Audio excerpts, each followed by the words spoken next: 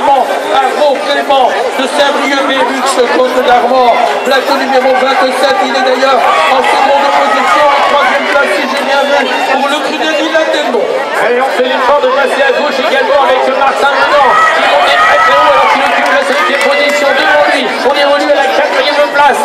Et bien avec Gabin Hussé, le club de Volbec. Et cela demande confirmation alors que c'est bien rasé. Rasé avec Martin Menant qui fait l'effort ici pour peut-être passer à la quatrième place. Ah, ils se sont 18 maintenant.